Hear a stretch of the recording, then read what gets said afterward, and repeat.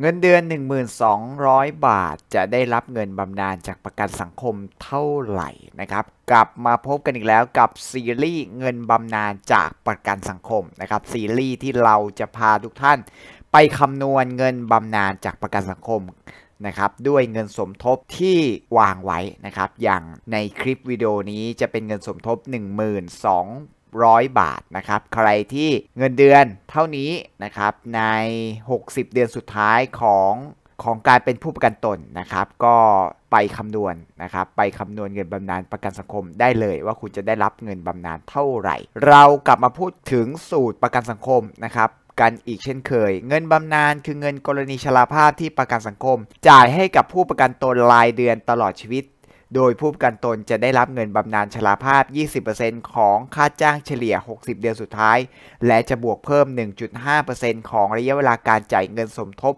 ทุกๆ 12 เดือนนั่นเอง สูตรคำนวณนนะครับจะแบ่งออกเป็นทั้งหมด 2 สูตรด้วยกันนะครับ สูตรแรกจะเป็นกรณีจ่ายเงินครบ 180 เดือนแบบเป๊ะๆนะครับ สูตรที่ 2 จะเป็นกรณี จ่ายเกิน 180 เดือนนะครับ ซึ่งจะมีส่วนต่างคือการบวกเพิ่มอีก 1.5%ของระยะเวลาการจ่ายเงินสมทบทุก ๆ 12 เดือน หรือเรียกว่า 1 ปีนะครับ 1 ปีคิดเพิ่มบวกเพิ่มนะครับ ซึ่งเปอร์เซ็นต์นี้จะช่วยทำให้คุณได้รับเงินบำนาญที่เพิ่มมากขึ้น นะครับไปดูรายละเอียดกันเลย อันนี้เป็นตารางเงินสมทบเงินบำนาญโดยคำนวณจากฐานเงินเดือนเฉลี่ยสูงสุดนะครับเต็มแม็กเพดานคือ 15,000 บาท แต่ในคลิปวิดีโอนี้จะเป็น 1,200 บาท เพราะนั้นเราไปดูวิธีการคำนวณจากตัวอย่างกันเลยครับ ทำงานส่งประกันสังคมมา 35 ปี จำนวนเงิน 1,200 บาทนะครับ เป็นเงินสมทบนะ วิธีการคิดส่วนเกินเราต้องคิดส่วนเกินส่วน ที่เราจะไปคูณ 1.5 นะครับ ก็คือเอา 35 นะครับ 35 ปีเนี่ยตั้งลบ 15 นะครับ เท่ากับ 20 นะครับ สูตรคำนวณ 1.5 คูณ 20 เท่ากับ 30% 30%นี้เราจะได้เพิ่มนะ เอา 20เดิมบวก 30%เท่ากับ 50%คูณ 1,200 บาทหาร 100 ก็เท่ากับว่า คุณจะได้รับบำนาญจากประกันสังคม 5,100 บาทนะครับ ไปตลอดชีวิตเลย ทำงานส่งประกันสังคมมา 30 ปีจำนวน 1,200 บาท ส่วนเกินนะครับ 30 ลบ 15 เท่ากับ 15 นะครับ สูตรคำนวณ 1.5 คูณ 15 เท่ากับ 22.5 นะครับ 20 บวก 22.5 คูณ 1,200 บาท หาร 100 เท่ากับ 4,335 บาทนะครับ เป็นเงินบำนาญจากประกันสังคมตลอดชีวิตทำงานส่งเงินประกันสังคมมา 25 ปีจำนวน 1,200 บาทนะครับวิธีการคิดส่วนเกินจาก 180 เดือนนะครับ เอา 25 ลบ 15 เท่ากับ 10 ปีนะครับ สูตรคำนวณ 1.5 คูณ 10 เท่ากับ 15%ที่จะได้เพิ่ม 20 บวก 15 นะครับ เท่ากับ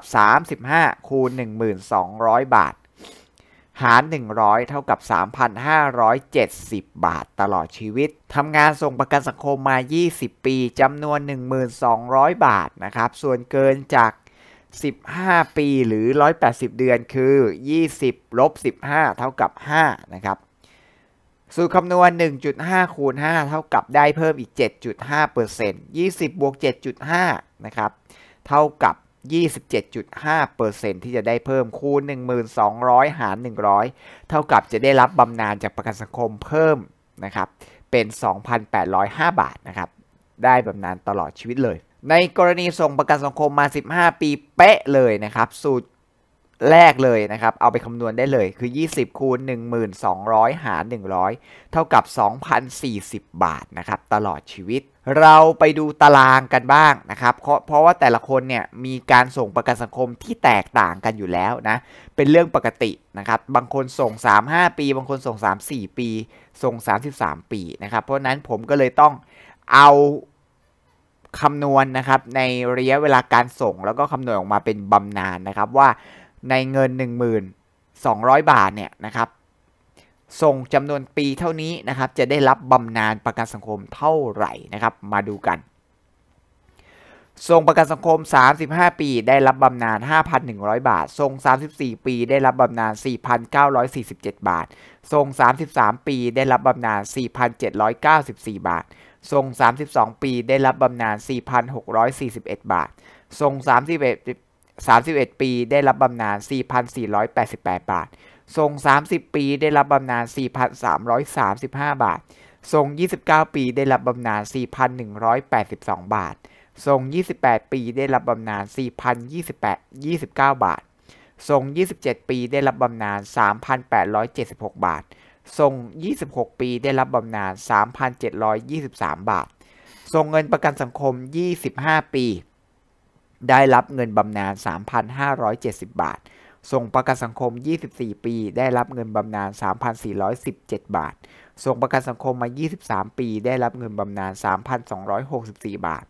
ทรงประกันสังคมมา 22 ปี ได้รับเงินบำนาญ 3,111 บาท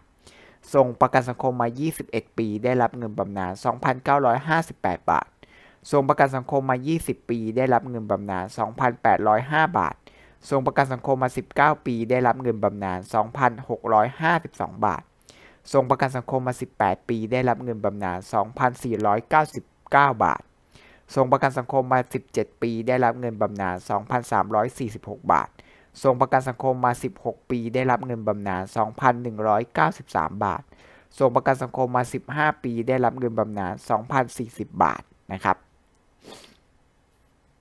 นี่คือ ตารางนะครับในการส่งประกันสังคม และจะได้รับบำนาญจากประกันสังคมเท่าไหร่นะแต่ละท่านมีการได้รับนะครับบำนาญไม่เหมือนกัน บางคนอาจจะมีคำถามนะครับ มีคำถามเข้ามาแล้วล่ะว่า ไม่เห็นที่ไม่เห็นเหมือนตามสูตรเลยนะไปไปได้รับจริงนะครับ เงินไม่ได้ตามสูตร ต้องบอกก่อนว่าแต่ละคนนะครับคิดว่า ตัวเองส่งประกันสังคมมาจำนวนปีเท่านี้นะโดยอาจจะคิดจากฐานจากการทำงาน แต่จริงๆไม่ใช่นะ การส่งส่งเงินสมทบเนี่ยต้องดูก่อนว่าไอตอนที่คุณทำงานเนี่ยนะครับ ประกันสังคมมาหรือยังนะครับ หรือนายจ้างนะครับ ส่งประกันสังคมหรือยังนะครับ เพราะเราจะเอาจำนวนที่เราจำนวนปีที่เราทำงานมาเนี่ยมาคำนวณไม่ได้นะ ต้องเอาจำนวนเดือนจำนวนปีที่ส่ง ประกันสังคมส่งเงินสมทบประกันสังคมมาคำนวณ เพราะฉะนั้นถ้าเกิดเอาเงินสมทบที่เราส่งมาคำนวณมันได้เป๊ะๆแน่นอนนะครับ เพราะเนี่ยมันเป็นสูตรจากประกันสังคมนั่นแหละนะครับ สูตรการคำนวณ มันไม่ได้มีอะไรที่แตกต่างหรือมากกว่านี้นะครับ เพราะฉะนั้นแต่ละท่านที่ได้ไม่เท่ากันต้องไปดูก่อนว่าท่านส่งมาจริงครบจริงหรือเปล่านะครับ หรือมีรายละเอียดอะไรบ้างนะ ไปดูรายละเอียด ไปคุยดูรายละเอียดที่ประกันสังคมได้นะครับ ว่าคุณส่งมาจริงหรือเปล่าจำนวนปีจำนวนเดือนเท่าเท่ากับที่ตัวเองคิดไว้หรือเปล่านะครับ ขอขอบคุณข้อมูลจากสำนักงงานประกันสังคมนะครับ www.sso.go.th สอบถามเพิ่มเติมได้ที่